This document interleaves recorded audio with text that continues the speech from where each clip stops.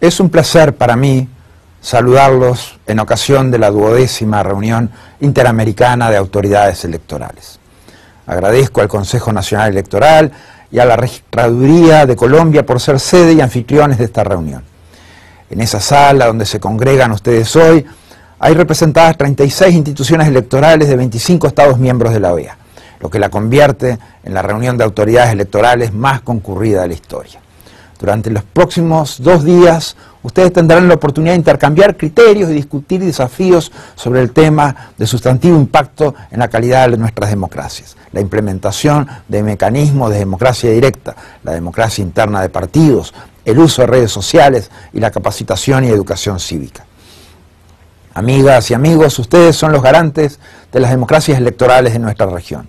A través de su compromiso con la realización de procesos electorales limpios, justos, inclusivos, ustedes garantizan la legitimidad de origen de los gobernantes.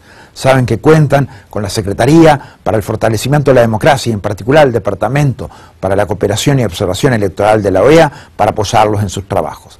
No puedo omitir que, en esta ocasión, hemos decidido de manera consensuada no invitar al Consejo Nacional Electoral de Venezuela.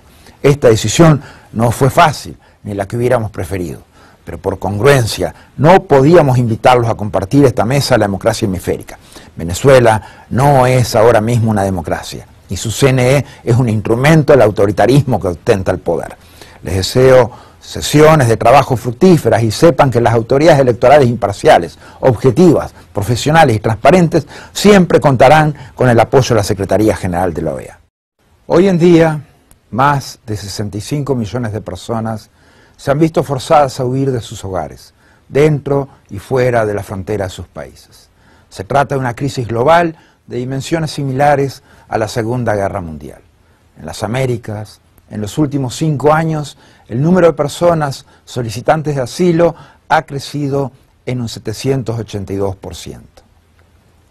Empero, el número de refugiados promedio aceptados como tales se ha reducido en casi el 10%. Esta disminución resulta del enfoque de seguridad nacional que privilegia el uso generalizado de las llamadas 3D, detección, detención y deportación. Deberíamos promover medidas que permitan reducir la situación de vulnerabilidad de los refugiados y solicitantes de asilo y sus familias.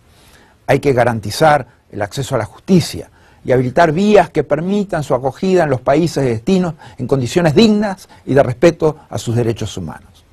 Con nuestra capacidad de convocatoria política y buenos oficios, desde la OEA queremos contribuir al manejo de las necesidades de protección de todos los ciudadanos que se ven forzados a salir de sus países, y en particular de nuestros hermanos del Triángulo Norte.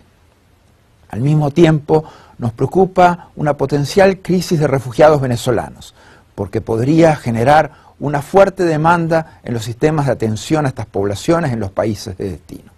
La crisis humanitaria en Venezuela y las difíciles condiciones de acogida en los países de destino los coloca en una situación de mayor vulnerabilidad las discusiones de esta conferencia regional y la adopción del marco integral regional para la protección y soluciones, MIRPS, serán aportes fundamentales de las Américas para el Pacto Global sobre Refugiados que será aprobado en 2018.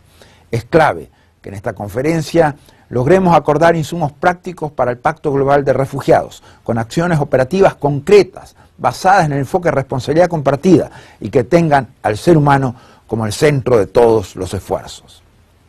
Es hora de adaptar acciones que hagan que el lema de más derechos para más gente también sea una realidad para los solicitantes de asilo, refugiados, apátridas y desplazados internos.